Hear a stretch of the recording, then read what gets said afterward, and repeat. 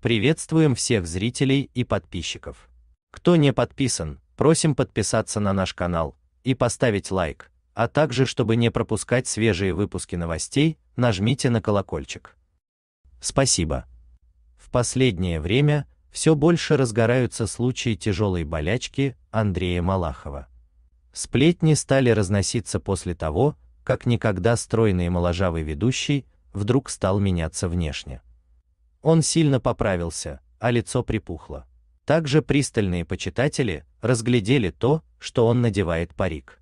По убеждению некоторых поклонников, Андрей стал носить парик, поскольку шевелюра его очень неестественно выглядит. Именно поэтому в соцсетях сильно беспокоились подписчики.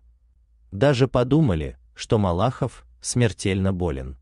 Нужно отметить, что сам телеведущий до сих пор не развенчал слухов, что дало повод сплетникам удостовериться в правоте своих предположений. Спасибо, что смотрели видео до конца. Благодарны за то, что пишете комментарии под видео. Это помогает нам в продвижении канала. Пишите комментарии под каждым видео, а мы выберем 20 пользователей, которые напишут больше комментариев под нашими видео, и отправим каждому по 50 долларов.